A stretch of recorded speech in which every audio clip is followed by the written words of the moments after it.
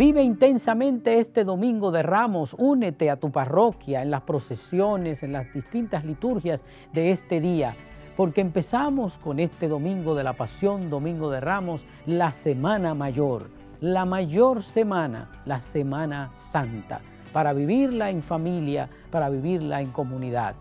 Únete a tu parroquia, únete a cada uno de los retiros, las reflexiones y esta rica liturgia que vamos a tener durante esta Semana Santa.